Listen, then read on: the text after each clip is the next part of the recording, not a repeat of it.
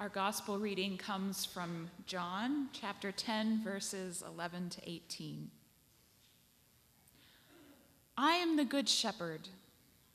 The good shepherd lays down his life for the sheep. The hired hand, who is not the shepherd and does not own the sheep, sees the wolf coming and leaves the sheep and runs away, and the wolf snatches them and scatters them.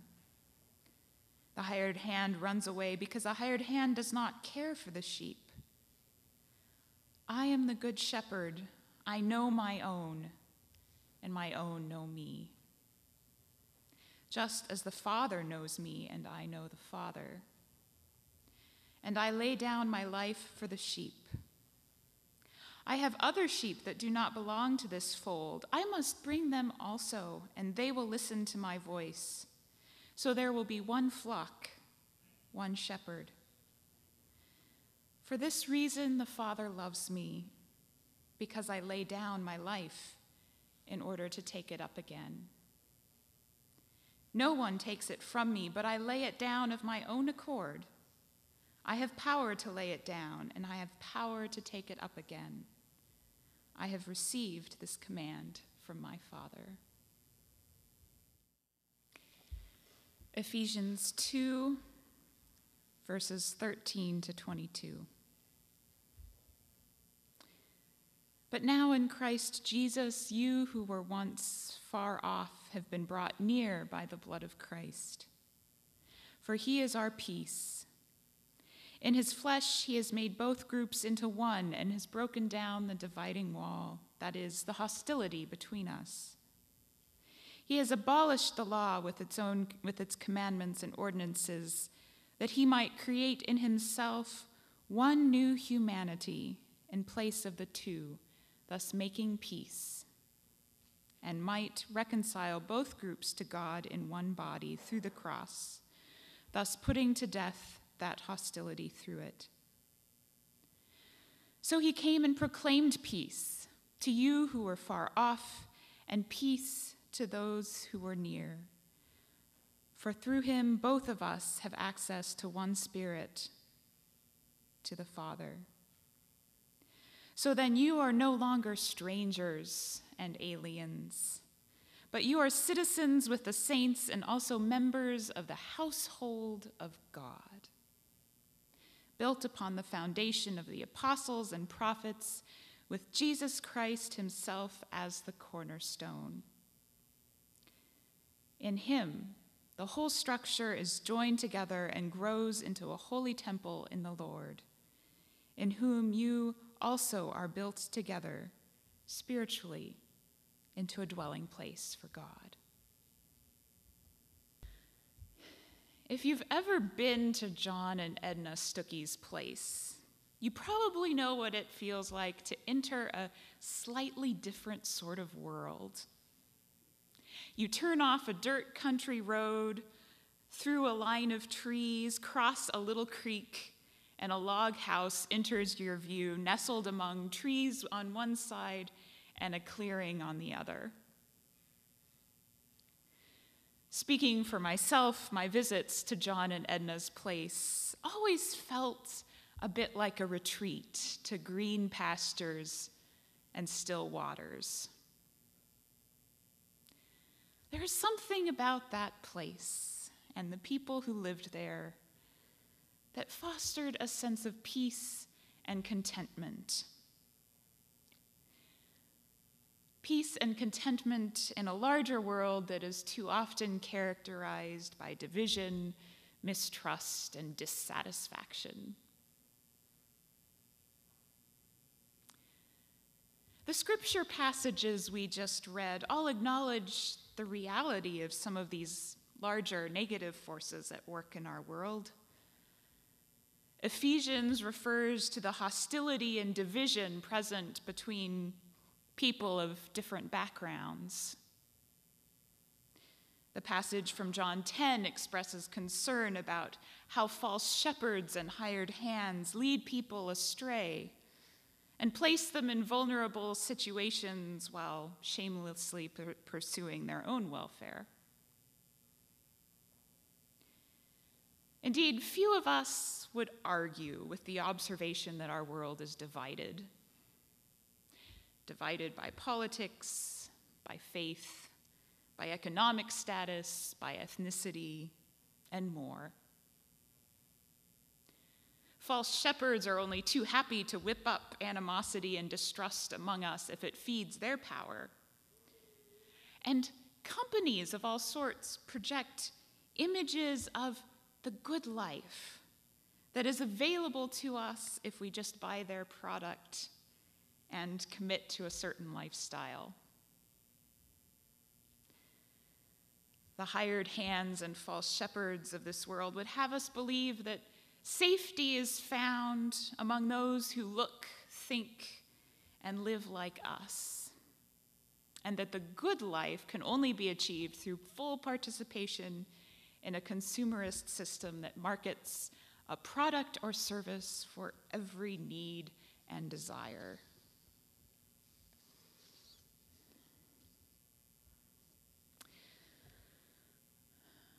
Well, God encourages us not to buy into this message.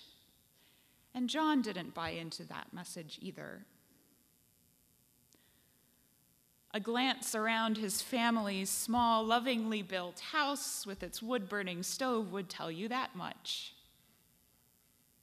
John made their home to be about warmth and family, not about size or modern convenience or as a showcase for possessions.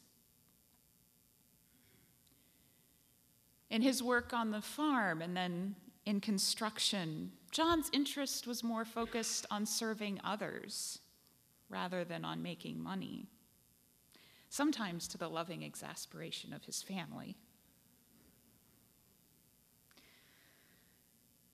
When building for clients, he always prioritized the projects of those he knew were in need and might not be able to pay. In a world that so often fosters division and mistrust, John extended gentle friendship and compassion to everyone he met. Even if all you did was spend five minutes visiting with John, you immediately sensed that here was someone who truly, genuinely cared.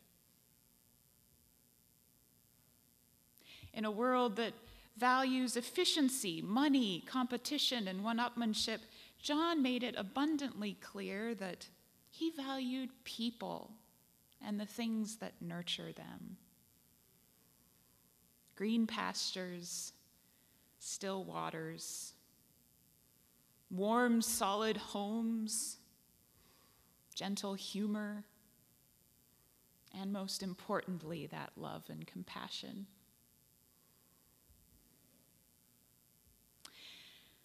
Now, while his earthly humility would never have liked hearing so many good things said about himself, now that John is celebrating a new life among the saints, I think he wouldn't mind if we all took the liberty today. In many ways, John exemplified the sort of good life that God calls us to.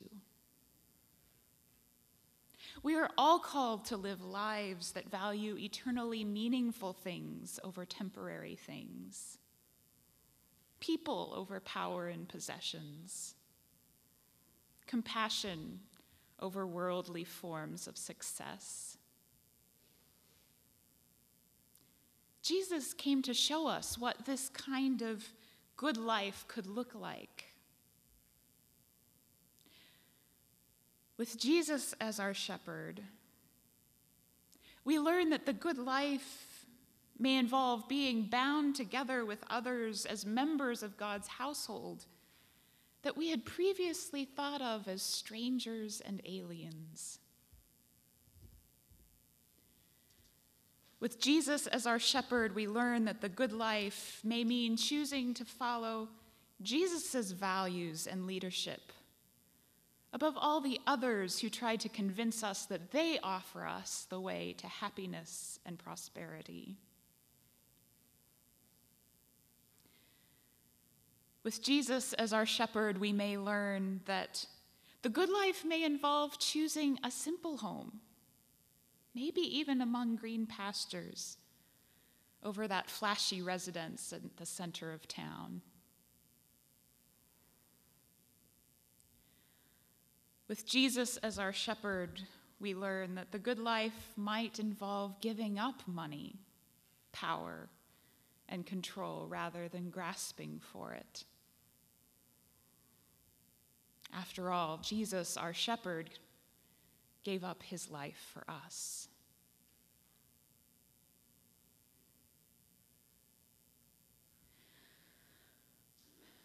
John sought to build this kind of good life for himself, for his family, and he modeled it for so many others.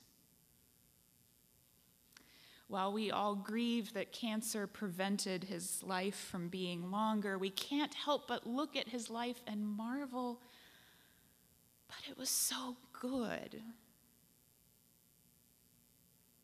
From his time of service in Africa to raising two beloved children and with Edna in rural Moundridge, to his farming and building work even into his two years of fighting cancer. John sought the sort of good life offered by Jesus, the Good Shepherd. Ask any of the patients, nurses, or doctors who encountered John at the Cancer Center in McPherson, and I'm sure they'll tell you that John's commitment to extending compassion to everyone remained strong even when he was in the middle of chemotherapy. No one felt like a stranger around John. There were no strangers or aliens. Just like his home stands out in its peaceful beauty, pointing towards a different way of life, John lived his life choosing a different sort of way, that good, Christ like sort of way.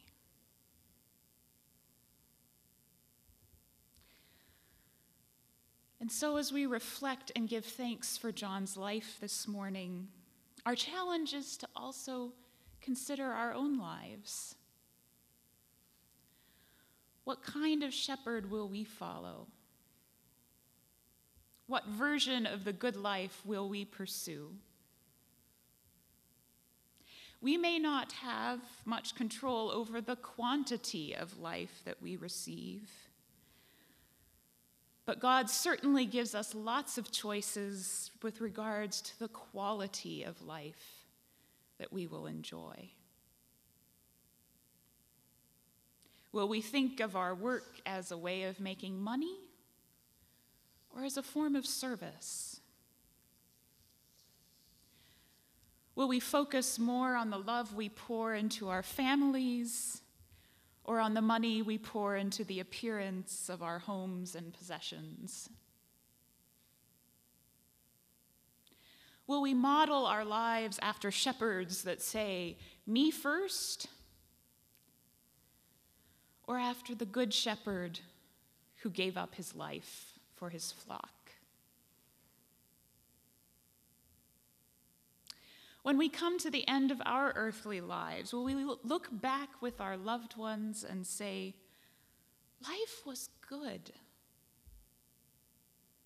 It may have been different or difficult or shorter than we expected. But thanks to ample doses of things that make for God's kind of good life love, peace, generosity, natural beauty, compassion, simplicity, and more. Life was so good.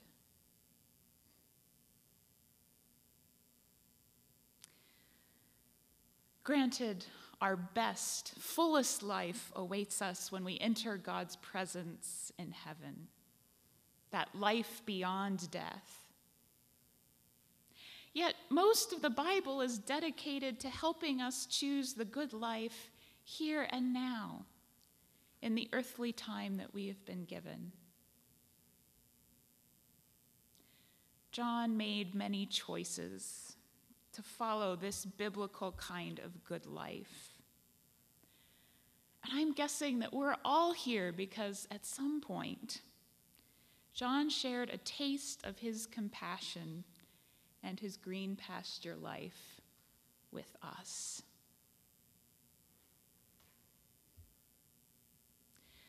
So may we too be inspired to choose the good life that God, our good shepherd, offers.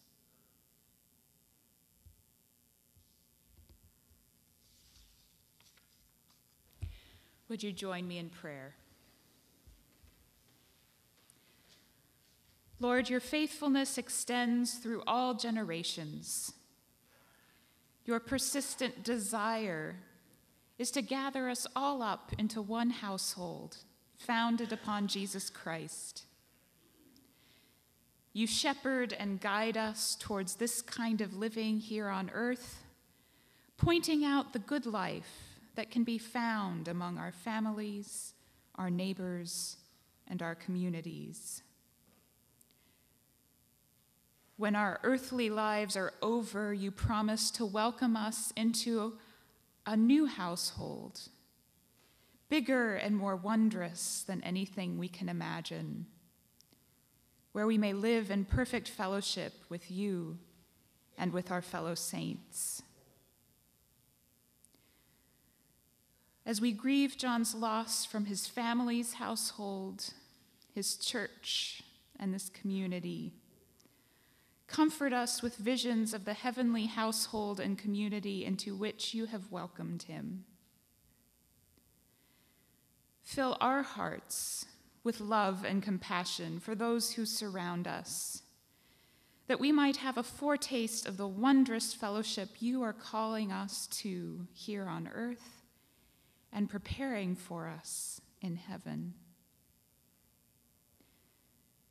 May we live our lives with joy relishing each person and each opportunity for love and compassion that you place in our path.